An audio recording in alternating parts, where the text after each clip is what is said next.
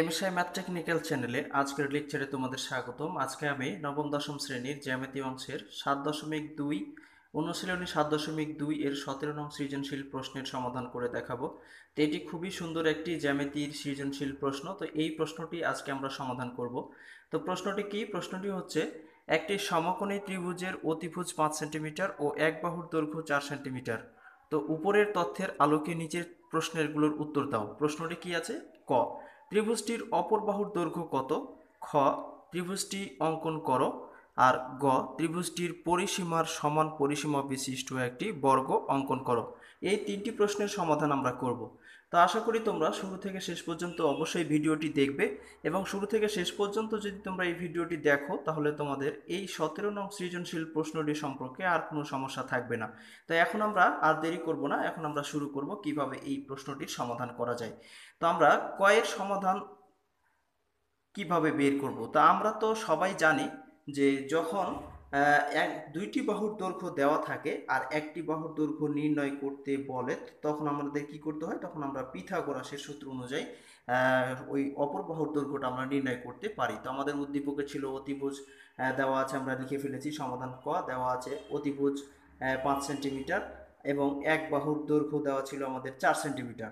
তো অপর বাহুর দৈর্ঘ্যটি আমাদের বের করতে বলছে। তো আমরা যেহেতু পিথাগোরাসের সূত্র অনুযায়ী এই মানটি বের করব। আমরা সবাই জানি যে যদি দুইটি বাহুর দৈর্ঘ্য দেওয়া থাকে এবং অপর বাহুটি দৈর্ঘ্য নির্ণয় করতে পারে, তাহলে সরাসরি আমরা পিথাগোরাসের সূত্রের সাহায্যে ওটি বের করে থাকি। তো সেজন্য আমরা মনে করি অপর বাহুর দৈর্ঘ্য চা এক সেন্টিমিটার। তো আমরা এটা ধরে নিয়েছি। এখন আমরা কি করব? এখন আমরা অপর বাহুর দৈর্ঘ্যটি বের করব। তো পিথাগোরাসের সূত্রটি কি? আমরা পিথাগোরাসের সূত্র কি জানি? যে আমরা জানি অতিভুজ স্কোয়ার সমান লম্ব স্কোয়ার প্লাস ভূমি স্কোয়ার। তো আমরা এখানে অতিভুজ স্কোয়ার বলতে আমরা এখানে কি নিয়ে নিলাম? এখানে যেহেতু আমাদের অতিভুজ পাঁচ সেন্টিমিটার আছে, তো সেই জন্য আমরা এখানে অতিভুজ স্কোয়ার অর্থাৎ পাঁচ সেন্টিমিটার স্কোয়ার করে নিলাম। এরপরে লম্ব স্কোয়ার প্লাস ভূমি স্কোয়ার। তো আমরা এই দুইটাকে যে কোনো একটা লম্ব বা ভূমি ধরে নিতে পারি। তো তারপরে কি আছে? চার। তাহলে আমরা চার সেন্টিমিটার আর অপর বাহুর দৈর্ঘ্য আমাদের ধরেছিলাম এক্স তাহলে এখানে হচ্ছে এক্স সেন্টিমিটার। তো এরপরে কি করব? এরপরে আমরা যে কাজটি করব সেটি হলো পাঁচের উপর স্কোয়ার থাকলে আমরা আমরা জানি যে পাঁচ পাঁচে পঁচিশ, আর এখানে চারের উপর স্কোয়ার অর্থাৎ ষোলো, আর এই পাশে আছে আমাদের কি? এক্স স্কোয়ার তা আমরা এখন যদি এই পুরো অংশটাকে এই পাশে নিয়ে চলে আসি, তাহলে কি হবে? পুরো অংশ নিয়ে আসলে সাইন চেঞ্জ হয় না বা চিহ্নের কোনো পরিবর্তন হয় না। তা আমরা এখানে কি করব? এই অংশটাই পারে, আর এই অংশটাই পারে নিয়ে যাব। তাহলে এক্স স্কোয়ার প্লাস ষোলো, আর এই পাশে চলে আসলো পঁচিশ। তো এখন যদি আমরা এক্স স্কোয়ারকে রেখে দেই এক্স স্কোয়ারকে রেখে দেই আর এই ষোলোটাকে ওই পাশে পার করি, তাহলে পঁচিশের সাথে ষোলো গিয়ে কী হয়ে যাবে? মাইনাস হয়ে যাবে। তো মাইনাস হয়ে গেল, এখন আমরা কি করব? এখন আমরা এই এক্স স্কোয়ারকে রেখে দিলাম, ষোলো, পঁচিশ থেকে ষোলো বাদ দিলে আমরা কত পাই? নয় পাই। তো এখন আমরা এই স্কোয়ারটাকে যদি আমরা এই পাশে পার করে দিই, তাহলে রুট হয়ে যায়। তাহলে নয়ের উপরে রুট হয়ে গেল। এরপরে আমরা কি করব? অতএব এক সমান আমরা কত পাবো? নয়ের রুট তো আমরা জানি থ্রি তাহলে আমরা এক সমান পেলাম থ্রি তো অপর বাহুর দৈর্ঘ্যটা আমরা কত পেলাম? এক সমান থ্রি তো এটি হয়ে গেল কয়ের আনসার এটি আমরা খুব সহজেই কয়ের উত্তরটি বের করে নিতে পারলাম। তো আশা করি তোমরা এইভাবে যদি দুই বাহুর মান দেওয়া থাকে এবং অপর বাহুর দৈর্ঘ্যটি নির্ণয় করতে পারে, বলে, তাহলে খুব সহজেই তোমরা কি করতে পারবে? পিথাগোরাসের সূত্র ব্যবহার করে তোমরা অপর বাহুর দৈর্ঘ্যটি নির্ণয় করে নিতে পারবে। তো এখন কিন্তু আমরা তিনটি বাহুর দৈর্ঘ্য পেয়ে গেলাম। আমাদের অতিভুজ দেওয়া ছিল পাঁচ সেন্টিমিটার এবং এক বাহুর দৈর্ঘ্য দেওয়া ছিল চার সেন্টিমিটার। আরেকটি বাহুর দৈর্ঘ্য আমরা পেলাম কত? এক সমান তিন সেন্টিমিটার। তা আমাদের ক্ষয়ের প্রশ্নটি কি ছিল? আমাদের ক্ষয়ের প্রশ্নটি ছিল যে ত্রিভুজটি অঙ্কন করো। এখন আমরা সেই ত্রিভুজটি অঙ্কন করব। তো ত্রিভুজটি অঙ্কন করার জন্য কি করতে হবে? তো ক্ষয়ের প্রশ্নে আমাদের কি হবে? ক্ষয়ের প্রশ্নে আমাদের হবে যে, আমরা ত্রিভুজটি অঙ্কন করো, ক্ষয়ের প্রশ্ন ছিল ত্রিভুজটি অঙ্কন করো। তো আমরা মনে করি সমকোণ সংলগ্ন ভূমি এ সমান চার সেন্টিমিটার, যেহেতু আমাদের উদ্দীপকে চার সেন্টিমিটার দেওয়া ছিল এবং অতিভুজ দেওয়া ছিল, আমরা ধরে নিয়েছি বি সমান পাঁচ সেন্টিমিটার এবং অপর বাহুর দৈর্ঘ্য আমরা সি সমান থ্রি সেন্টিমিটার ধরে নিয়েছি, কারণ অপর বাহুর দৈর্ঘ্যটি আমরা পেয়েছিলাম এক সমান তিন সেন্টিমিটার। তো আমরা তিনটা বাহুর দৈর্ঘ্য ধরে নিয়েছি, এখন আমরা ত্রিভুজটি অঙ্কন করব। তো ত্রিভুজটি অঙ্কন করতে হলে কীভাবে আমরা ত্রিভুজটি অঙ্কন করব? এখন তোমাদের আমি সেটি দেখাচ্ছি। তো আমরা আগে কি করব? চার সেন্টিমিটার একটা রেখা নিব। চার সেন্টিমিটার আমরা রেখা নিব। তারপর আমরা রেখাগুলো আগে নিয়ে ফেলব। তো আমরা কি করব? এখানে তোমরা স্কেলের সেন্টিমিটার দাগ অনুযায়ী নিবা। তো আমরা এখানে কি করলাম? এই চার সেন্টিমিটার একটা, এ সমান চার সেন্টিমিটার নিলাম। এরপরে কি করব? এরপরে আমরা বি সমান পাঁচ সেন্টিমিটার আমাদের দেওয়া ছিল। তো আমরা বি সমান পাঁচ সেন্টিমিটার নিলাম। তোমরা দেখতে পাচ্ছ আমি কীভাবে নিচ্ছি। আর আমরা সি সমান পেয়েছিলাম তিন সেন্টিমিটার, তো সেই জন্য আমরা কি করব? তিন সেন্টিমিটার নিয়ে ফেলব। তো এই তিনটা রেখার আমি নিয়ে ফেললাম। তো আমরা প্রথমটা আমাদের এ আর এরপরটা হচ্ছে বি আর পরেরটা হচ্ছে আমাদের সি আমাদের ওই, মনে করি আমরা সমকোণ সংলগ্ন ভূমি এ সমান চার সেন্টিমিটার, অতিভুজ বি সমান পাঁচ সেন্টিমিটার, অপর বাহুর দৈর্ঘ্য সি সমান থ্রি সেন্টিমিটার আমরা ধরে নিয়েছি। তো এখন আমরা ত্রিভুজটি অঙ্কন করব। ত্রিভুজটি অঙ্কন করব কীভাবে? এটি তোমরা খুব ভালো করে খেয়াল করো। তাহলে খুব সহজেই তোমরা পরবর্তীতে ত্রিভুজটি অঙ্কন করতে পারবে। তো আশা করি তোমরা শুরু থেকে অবশ্যই শেষ পর্যন্ত ভিডিওটি দেখবে দেখলেই তোমাদের খুব সুবিধা হবে এবং তোমরা ত্রিভুজটি অঙ্কন করতে পারবে। তো এখন আমি সেটাই তোমাদের করে দেখাচ্ছি। তা আমরা এখান থেকে যে কোনো একটা রেখা নিলাম। আমরা যে কোনো একটা কি করলাম? রেখা নিলাম। তো যে কোনো রেখার নাম দিলাম আমরা এটার নাম দিলাম বি এবং এটার নাম দিলাম ই তো বিই রেখাংশ থেকে আমরা ভূমি যেহেতু এ সমান ধরে নিয়েছি, তো আমরা ভূমি সমান কেটে নেব। আমরা এখান থেকে কি করলাম? ভূমি চার সেন্টিমিটার আমরা কেটে নিলাম। তো ভূমি চার সেন্টিমিটার কেটে নিচ্ছি, তোমরা খেয়াল করো। এই আমি ভূমি চার সেন্টিমিটার কেটে নিলাম, এটার নাম দিলাম সি এরপরে এখন বিসি রেখাংশের, আমরা বিসি রেখাংশের বি ও সি বিন্দুকে কেন্দ্র করে যথাক্রমে বি ও সি এর সমান ব্যাসার্ধ নিয়ে বিসি রেখার একই পাশে দুটি বৃত্তচাপ অঙ্কন করব। তো আমরা এখন কি করব? আমরা এই সমান করে রেখাটা নিব। পাঁচ সেন্টিমিটার যে আমরা নিয়েছিলাম অতিভুজ আমাদের পাঁচ সেন্টিমিটার দেওয়া ছিল, তাই এই সমান করে নিলাম। এর সমান করে আমরা বি বিন্দু থেকে কি করব? একটা বৃত্তচাপ আঁকবো। এরকম করে একটা বৃত্তচাপ আঁকবো। তো বৃত্তচাপ আঁকলাম। এরপর আমরা সি বিন্দুতে যে আমাদের তিন সেন্টিমিটার পেয়েছিলাম, আমরা অপবাহ দেবো এখান থেকে আমরা কি করব?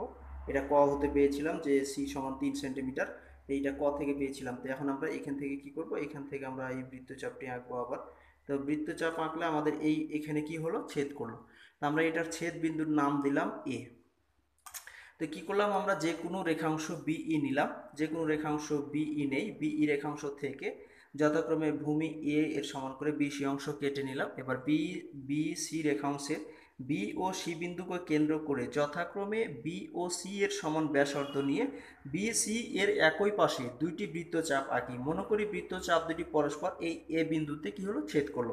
এখন আমরা ছেদ বিন্দুগুলোকে যোগ করে দেবো। তো এখন আমরা এসি যোগ করে দেবো। তো এসি যোগ করে দিব। তোমরা খুব সুন্দর করে দেখো, তাহলে বুঝতে পারবে। আমরা এখন যোগ করে দিচ্ছি। আমরা এখন কি করলাম? এই এসি যোগ করে দিলাম। এসি যোগ করে দিলাম। এবার এ বি যোগ করে দিব। তাহলে এ বি আমাদের যোগ করে দিলেই কিন্তু আমাদের একটা ত্রিভুজ অঙ্কিত হয়ে যাবে। তা আমরা কি করলাম? এ বি যোগ করে দিলাম। এই দেখো কত সুন্দর আমাদের একটি কি হলো? ত্রিভুজ অঙ্কিত হয়ে গেল। তো এটি ছিল আমাদের মূলত ক্ষয়ের প্রশ্ন। কারণ আমাদের ক্ষয়ে বলেছিল ত্রিভুজটি অঙ্কন করো। তো তোমরা কীভাবে বিবরণটা দিবে? আমরা মনে করি সমকোণ সংলগ্ন ভূমি এর সমান চার সেন্টিমিটার ধরে নিয়েছি আমরা এবং অতিভুজ আমাদের দেওয়া ছিল। তো আমরা এটা বি সমান পাঁচ সেন্টিমিটার ধরে নিয়েছি। ও অপর বাহুর দৈর্ঘ্য যে আমরা কয়ে পেয়েছিলাম বের করে এক সমান তিন সেন্টিমিটার, ওটা আমরা সি সমান থ্রি সেন্টিমিটার ধরে নিয়েছি। তো আমরা এই মাপ অনুযায়ী এই রেখাগুলো নিয়েছি। এ বি এবং সি এ সমান চার সেন্টিমিটার বি সমান পাঁচ সেন্টিমিটার সি সমান তিন সেন্টিমিটার আমরা যে কোনো রেখাংশ বিই নেই বিই থেকে এ বাহুর সমান করে বিসি অংশ কেটে নেই। বিসি রেখাংশের বি ও সি বিন্দুকে কেন্দ্র করে যথাক্রমে বি ও সি এর সমান ব্যাসার্ধ নিয়ে। বিসি এর একই পাশে দুইটি বৃত্তচাপ আঁকি। মনে করি বৃত্তচাপ দুটি পরস্পর এ বিন্দুতে ছেদ করে।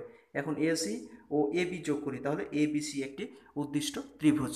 তো এরপরে আমরা গয়ের উত্তরটি বের করব। খুব সহজেই আমরা এটি বের করতে পারব।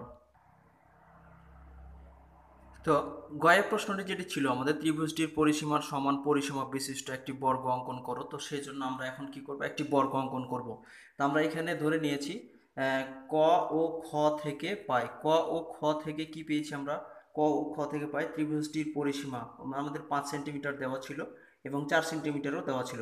আর আমরা ক থেকে পেয়েছিলাম কি? তিন সেন্টিমিটার। তো আমরা পুরোটাকে যোগ করব। যোগ করলে আমাদের পরিসীমাটা আমরা পেয়ে যাব। তো আমরা পুরোটা যোগ করে পেয়েছি কি? বারো সেন্টিমিটার। তো আমাদের সুতরাং প্রদত্ত বর্গের পরিসীমা হচ্ছে বারো সেন্টিমিটার। এখন যদি আমরা একটি বর্গ অঙ্কন করতে চাই, তাহলে আমাদের পরিসীমাকে আমরা চার দিয়ে ভাগ করলে আমরা এক বাহুর দৈর্ঘ্য পেয়ে যাব। তো সেই জন্য কী করেছি? বর্গের এক বাহুর দৈর্ঘ্য সমান বারো ভাগ চার, অর্থাৎ তিন সেন্টিমিটার। তো সেই জন্য আমরা এখন এ সমান তিন সেন্টিমিটার নেব। তো এ সমান আমরা যদি এখন তিন সেন্টিমিটার নেই, তাহলে আমরা বর্গটি অঙ্কন করতে পারব।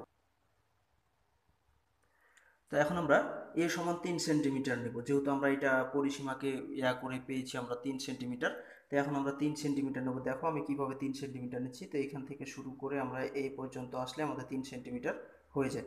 আমরা তিন সেন্টিমিটার নিলাম, তা এ সমান আমরা নিলাম তিন সেন্টিমিটার। এখন আমরা একটি বর্গ অঙ্কন করব। তো তোমরা খুব সহজেই বুঝতে পারবে, দেখো তাহলে বুঝতে পারবে তোমরা। তা আমরা এখন যে কোনো একটা রেখাংশ নেব। তা আমরা এখান থেকে যে কোনো একটা কি নিলাম? রেখাংশ নিলাম। তো রেখাংশ নেওয়ার পরে আমরা কি করব? এটার নাম দিব বিই। তো এটার আমরা নাম দিলাম বি আর ই। এখন বিই রেখাংশ থেকে আমরা এ বাহুর সমান করে পরিসীমার জায়গায় আমরা চার দিয়ে ভাগ করেছিলাম, তো আমরা কি করব? এর সমান করে। তো এ এর সমান করে বিসি অংশ কেটে নেব। তো আমরা এখান থেকে কি করলাম? এ এর সমান করে বিসি অংশ কেটে নিলাম। এটার নাম দিলাম আমরা সি।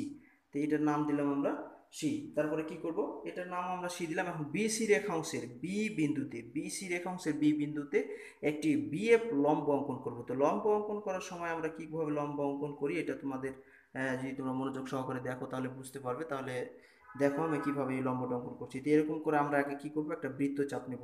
তো এরকম করে একটা বৃত্তচাপ নেওয়ার পরে এই মাপটা আর পরিবর্তন করা যাবে না।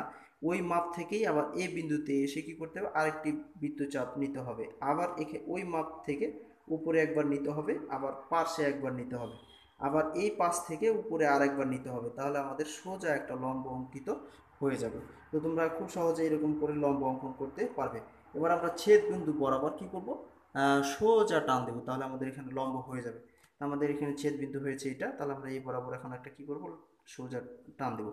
তাহলে আমরা এখানে পেয়ে গেলাম এই পেয়ে গেলাম আমাদের, এটার নাম দিলাম আমরা এফ এটার আমরা নাম দিলাম এফ তো আমরা কী করলাম? যে কোনো রাশি বিই নিলাম বিই রেখা অংশ থেকে এ বাহু সমান করে বিসি অংশ কেটে নিলাম। এবার বিসি রেখার বি বিন্দুতে একটি বিএফ লম্ব আঁকলাম। তো বিএফ রেখাংশ থেকে এবার কি করব? আমরা এ বাহুর সমান করে বিসি অংশ এ বি অংশ কেটে নেব। তাহলে এ বি অংশ কেটে নিচ্ছি এবার আমরা, দেখো। তো এখান থেকে আমরা কি করব এখন? এ বি অংশ কেটে নেব। তো এই আমরা এ বি অংশ কেটে নিলাম। এটার নাম দিলাম এ এটার নাম দিলাম এ তো এবার কি করব? আমরা এ ও সি বিন্দুকে কেন্দ্র করে, এবার এ ও সি বিন্দুকে কেন্দ্র করে যথাক্রমে এ এর সমান ব্যাসার্ধ নিই। আমরা এখন এ ও সি বিন্দুকে কেন্দ্র করে কি করব? যে পাশে বি বিন্দু আছে, বিপরীত পাশে দুটি বৃত্তচাপ আঁকবো। তো এটা আমরা নিয়েছিলাম, ওই এর সমান করে আমাদের নেওয়া আছে এটা। তো এখান থেকে একটা নিলাম, বৃত্তচাপ, আর আবার এখান থেকে আরেকটা বৃত্তচাপ নেব। তাহলে আমাদের এটা হয়ে যাবে। তাহলে আমরা এখান থেকে আরেকটা কি করছি? এখান থেকে আরেকটা বৃত্তচাপ নিলাম। তো মনে করি পরস্পর বৃত্তচাপ দ্বয় কিসে ছেদ করল ডি বিন্দুতে ছেদ করল তো এখন আমরা কি করব? এখন আমরা এ ডি এবং সি ডি যোগ করে দেবো। তাহলে আমাদের একটি বর্গ অঙ্কিত হয়ে যাবে। তো আমরা কি করলাম এখন? এ আর সিডি এবং এডি যোগ করে দাও। তাহলে আমাদের এখানে একটা বৃত্ত হয়ে যাবে। তো সরি এখানে আমাদের একটা বর্গ অঙ্কিত হয়ে যাবে। এই দেখো কত সুন্দর আমাদের একটি বর্গ অঙ্কন হয়ে গেল। তো এই ছিল আজকের সতেরো নং সৃজনশীল প্রশ্নের সমাধান। তা আশা করি তোমরা বুঝতে পেরেছ এবং এর পরবর্তীতে তোমাদের আর এই সতেরো নং সৃজনশীল প্রশ্নে কোনো সমস্যা হবে না।